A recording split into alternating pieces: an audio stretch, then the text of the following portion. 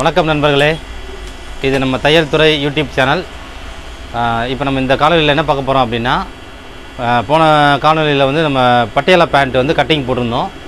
இப்போ அதை வந்து அண்ணன் தைக்கிறாங்க. அந்த தைக்கிற வீடியோவை நான் உங்களுக்கு காமிக்க போகிறேன் அந்த பட்டியலா பேண்ட்டு எப்படி தைக்கலாம் அந்த ஃப்ளீட் எப்படி வைக்கலாம் செமி பட்டியலாம். சரிங்களா? வாங்க பார்ப்போம்.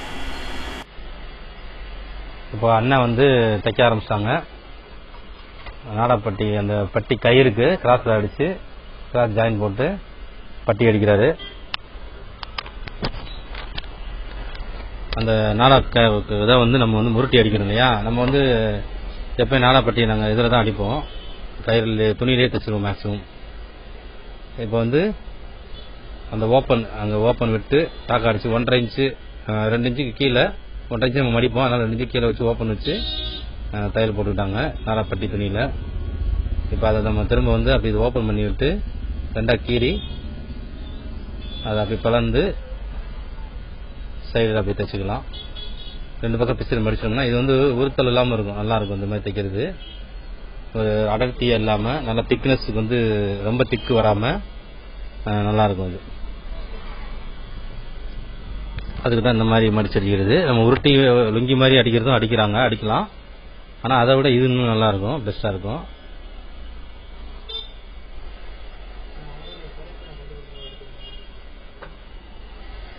ரெண்டு பக்கம் இந்த மாதிரி பிளந்து விட்டு மடிச்சு வச்சோம்னா பிளந்து விட்டுறதுக்கு நடுவில் ரெண்டு தேல் போட்டிருக்கு. ஏன்னா பிளந்து வரோம்னா வெறும் தையலில் தான் வந்து நிற்கும் நமக்கு. அதனால் ரெண்டு தேல் போடுறது நல்லது தான் ரெண்டு தேல் போட்டுக்கிட்டோம். சாஃப்டாக இருக்குது பார்த்தீங்களா அது வந்து நல்லா அந்த ஓப்பன் இந்த இதான் ஓப்பனு நம்ம ஒன் டைம் மடித்தோம்னா திருப்பி பார்த்தோம்னா அந்த ஓப்பன் வந்து கரெக்டாக அங்கே வரும். ஓகே இப்போ ரெண்டாவது அந்த சைடு பேக் சைடு இன்னொரு சைடு அடிக்கிறாங்க.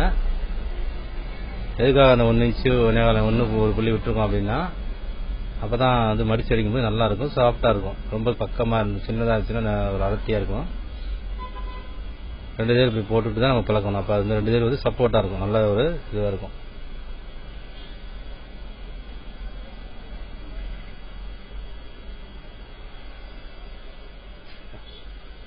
இதை பிளந்து நம்ம அப்படியே வந்து மடிச்சு இப்போ நீங்கள் வேணும்னா உங்களுக்கு ஒரே ஒரு இடத்துல மடிச்சு அடிச்சு இப்படி கரெக்டாக ஸ்ட்ரைட்டாக வைக்க முடியலன்னா முதலே வந்து அந்த சிங்கிள் துணியை தனியாக மடிச்சு தைச்சுக்கோங்க.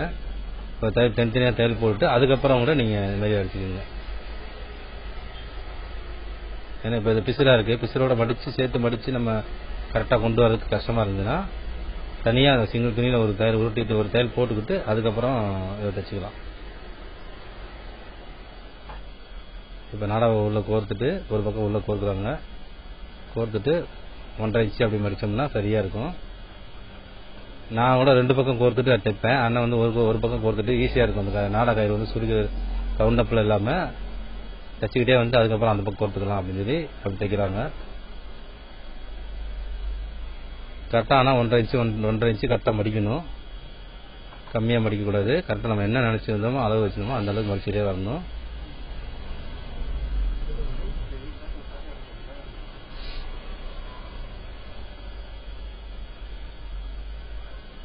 நாடா வந்து அந்த நாடா நம்ம துணியிலே இப்போ தைச்சதுனால சேம் கலராக இருக்கிறது வந்து நல்லா இருக்கும். நீட்டாகவும் இருக்கும். அசிங்கமாக இல்லாமல் ஒயிட்டில் வேற வழி இல்லை. துணி இல்லைன்னா ஒயிட்டில் போட்டுக்கலாம்.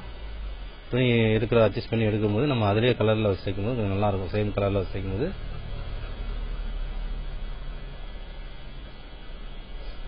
திரும்ப அந்த ரெண்டாவது பக்கத்தில் இப்போ வந்து சொருவிக்கலாம் இப்போ நான் வந்து நான் கூட இதை வந்து முதல்ல சொருவிட்டு ரவுண்ட் அப் பண்ணுவேன். இப்போ அண்ணா வந்து ரெண்டாவதாக அவ்வளோ சொருவிக்கலாம் அப்படின்னு சொல்லிட்டு எடுத்து விட்டு அதை சொருவிக்கலாம் ஆனால் இது கொஞ்சம் ஈஸியாக இருந்தது இல்லையா? அது நம்ம கைக்கு வாட்டமாக அப்படியே உள்ளடக்கிட்டு தைக்கிற மாதிரி. அதனால் இப்போ சொல்லி எடுத்துட்டு நம்ம திரும்ப அப்படியே ஃபினிஷ் பண்ணிக்கலாம். அவ்வளோதான்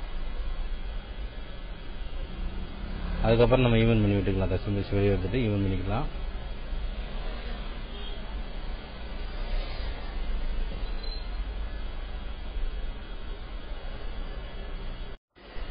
இப்போ வந்து அண்ணா கால் பாட்டம் அடிக்கிறதுக்கு ரெடி ஆகிட்டு கால் பாட்டத்தை வந்து நம்ம நாலாக மடித்து நாங்கள் கேன்வாஸ் வைக்காமே அடிச்சிடுவோம் அதை நாலாம் அடித்து அப்படியே அடிச்சிடணும். அந்த அர்க்காத்த அளவுக்கு அப்படியே வச்சு அந்த துணியே உள்ளே வந்து கரெக்டாக நாலு மடிப்பு உள்ளே இருக்குது அஞ்சாறு மடிப்பில் திருத்தி அதை மடிச்சிருவோம். அதனால் அந்த துணியே நல்லா அழகாக கிரிப்பாக இருக்கும். நீட்டாகவும் இருக்கும். நமக்கு தேவைப்பட்டால் அந்த துணியை எடுத்து விட்டு செய்கிற மாதிரி. உயரம் தேவைன்னா எடுத்துக்கலாம். அஞ்சு தேவை பிரிச்சுட்டு கூட எடுத்துக்கலாம். சப்போஸ் ஒரு உயரம் பத்தலை எனக்கு நடக்கும்போது இதாக இருக்குது அப்படின்னு சொன்னாங்கன்னா அந்த மாதிரி எடுத்துக்கலாம். தேவைப்பட்டால் எடுத்துக்கலாம். இப்போ திருப்பி போட்டு அப்படியே அடிக்கிறாங்க. அஞ்சு தையல் லைனாக அப்படியே ஒரு தையலை போட்டு அஞ்சு தையல்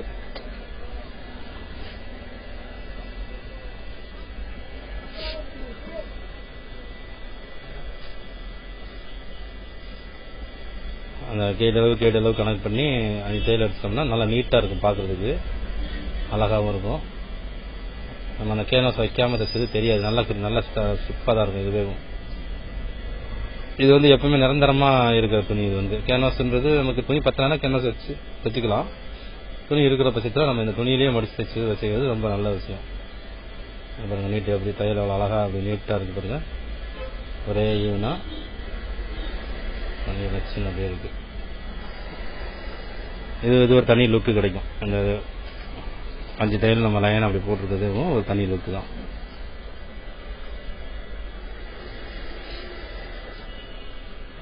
இப்போ வந்து தனியாக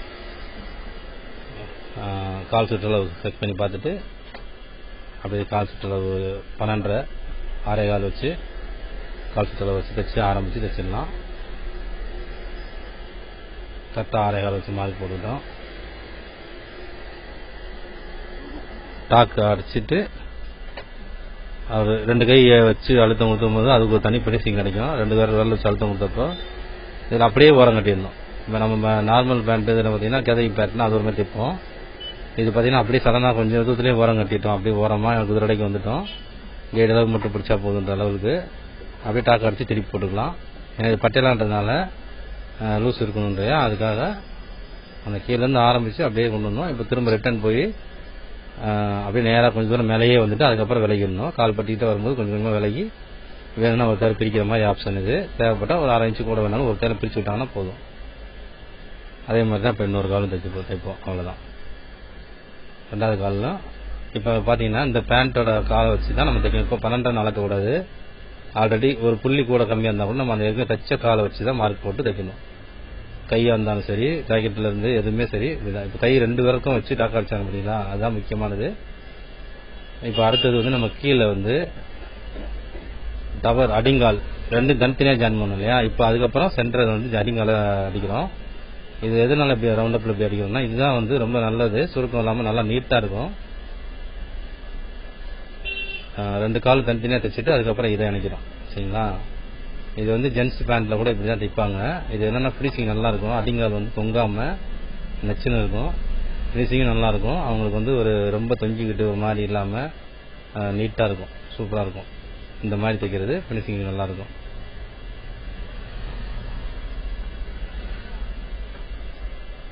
இதை தைச்சாச்சு. இப்போ நம்ம வந்து நாடாப்பட்டி வச்சு மேலே நாடாப்பட்டி கீழே வந்து அந்த பட்டி ரவுண்ட் பண்ணி எடுத்துட்டோம் இல்லையா? இப்போ வந்து ஃபீட் வைக்க போகிறோம் அவ்வளோதான் முடிய போகுது. சென்டரில் ஆரம்பித்து கரெக்டாக அப்படியே வந்து மூணு மூணு ஃபீட்டு நாலு நாலு ஃபீட் வைப்போம். இருக்கிறத அட்ஜஸ்ட் பண்ணி வைக்கிற மாதிரி தான் செமி பட்டியலான்றதுனால கொஞ்சம் ஃப்ளீட் பெருசு பெருசாக வேணும் அப்படிங்கிறதுனால நம்ம ஃப்ளீட் வந்து கொஞ்சம் நாலு ஃப்ளீட்டே போதுமானது. கொஞ்சம் அதிகமாக இருந்ததுன்னா இல்லை பன்னெண்டுக்கு பன்னெண்டு நம்ம வைக்காம பன்னெண்டுக்கு பன்னெண்டு நம்ம வைக்கல. பன்னெண்டுக்கு எட்டு தான் வந்தது. நாலப்பட்டி பன்னெண்டு ப்ளீட் வந்து எக்ஸ்ட்ரா எட்டு தான் வந்தது.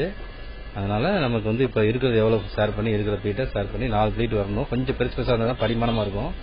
நிறைய ஃப்ளீட் வைக்கணும்னு சொல்லிட்டு ஃப்ளீட் அளவு கம்மியாக வச்சிட்டோம்னா படிமானம் கிடைக்காது.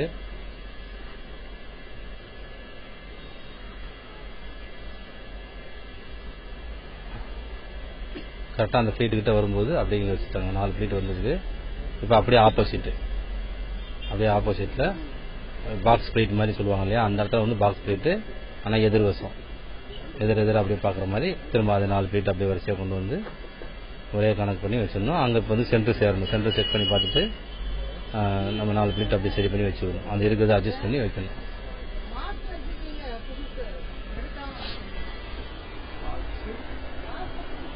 அப்படியே வந்து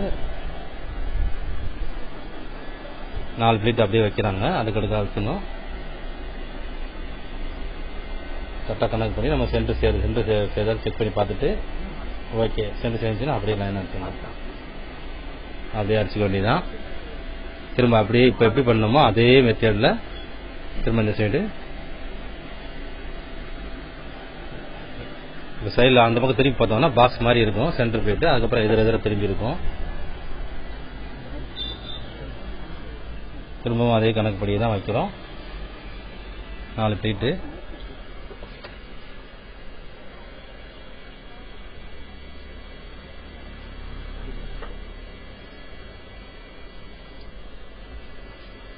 கட்ட நாலு அப்படியே ஆப்போசிட்ல திரும்ப நாலு வைக்கிறோம். இப்போ இதே பண்டுக்கு பண்டு நம்ம வச்சு விட்டுருந்தோம்னா எக்ஸ்ட்ரா துணியில் ஒரு நாலு இன்ச்சு எக்ஸ்ட்ரா ஜாயின் பண்ணி கூட வச்சுருந்தோம்னா அஞ்சு ஃபீட் கூட வைக்கலாம். இல்லை ஆறு வந்தாலும் வைக்கலாம். சரிங்களா? அஞ்சு வச்சா கூட நல்லா தான் இருக்கும். இல்லை ஆறு வந்தாலும் வைக்கலாம்.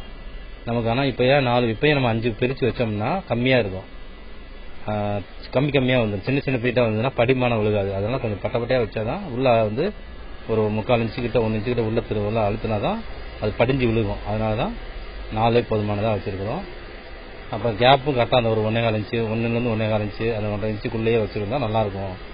அப்படிங்கிறதுனால அந்த கேப்பை கரெக்டாக ஃபாலோ பண்ணி கரெக்டாக அந்த ஈவன் பண்ணி வைக்கிறாங்க. கடைசி ஃபீட்டு கொஞ்சம் கம்மியாக இருந்தால் பரவாயில்ல அப்படிலாம் வைக்கக்கூடாது. அப்போ அந்த முதல் ஃபீட்லேருந்து கொஞ்சம் எடுத்து அந்த மாதிரி வச்சிட்டோம்னா நல்லாயிருக்கும். இப்போ அப்படி தான் ஷேர் பண்ணி வச்சு இப்போ சென்டர் செட் ஆகிடுச்சு கரெக்டாக சேர்ந்துச்சு எக்ஸ்ட்ரா துணி இருந்ததுன்னா நம்ம அதில் கரெக்டாக லெவல் பண்ணி அதுக்குள்ளேயே வச்சு வந்து நான் வச்சு அடுக்கு பிறகு வச்சுட்டோம். அப்படியே நேராக தைச்சிட வேண்டியதான் முடிஞ்சிச்சு. அப்படியே ரெண்டாவது தையல் அப்படியே அடிச்சிடுவோம் ரெண்டு தையல் அடிக்கணும் இதில். அப்புறம் ஓவர்லாக் போடணும். அதனால் ரெண்டு தையல் அடிச்சுட்டு நம்ம அதுக்காக படிமான தேர் போட்டோம்னா போடலாம். ஓவர்லாக் போட்டுட்டு இடத்த அப்படி படிமான தேர் போடுறதா இருந்தால் இடத்த இல்லை போடணும். அழகாக தான் இருக்கும். படிமான தேர் போடுறதுனால நல்லது தான் ஓவர்லாக் போட்டுட்டு தான் அது வேணால் போடணும். அப்போ தான் நல்லாயிருக்கும் ஓவர்லாக் மிஷின் இல்லாதவங்க பரவாயில்ல நம்ம போடலாம். இதில் ரெண்டு தேர் போட்டோம்னா நல்லது வேணாம் ரெண்டு தேரே போட்டுட்டு கரும தேர் போட்டுக்கலாம். ஆனால் படிமான தேர் போடுறதா இருந்தால் ஒரே தையல் போட்டு ஓவர்லாக் போட்டு படிமான தையல் போட்டுக்கலாம். நாங்கள் வந்து இப்போ படிமான தேர் போடலை. கடைசியாக ஓவர்லாக் போட்டு அப்படியே முடிச்சு வச்சுருவோம். சிலருக்கு படிமான தேர் போடுவோம். ஒரு சில துணிக்கு ஒரு மாதிரி இருக்குன்னா படிமான தையல் போடுவோம். அப்போ வந்து ஒரு தேர் போட்டால் போதும். ஓகே முடிஞ்சிச்சு அந்த ப்ளீட்டை வச்சு எவ்வளோ நாள் ப்ளீட் வைக்கணுமோ அதை பார்த்து வச்சுட்டோம் நம்ம திருப்பி போட்டு பார்க்குறோம் இப்போ. திருப்பி போட்டு பார்ப்போம். இது வந்து ரெண்டு மீட்டரில் தான் தைச்சிருக்கோம் நம்ம. வித்து நெருந்த துணியில் வேஸ்ட் பண்ணாமல் ஜாயிண்ட்டும் போடாமல் அழகாக ரெண்டு மீட்டரில் எவ்வளோ வருமோ செமி வச்சுட்டோம்.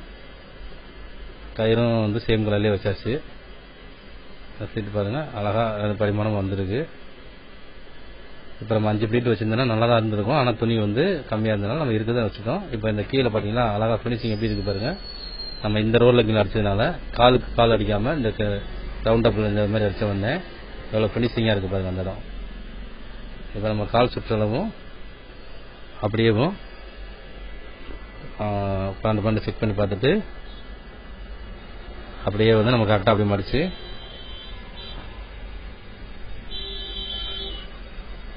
ஓகே நல்லா நீட்டாக இருக்கு. படிமானமாக இருக்கிற துணியெல்லாம் அழகாக வச்சிட்டோம். இவங்க செமி தான் கேட்டிருந்தாங்க. சூப்பர்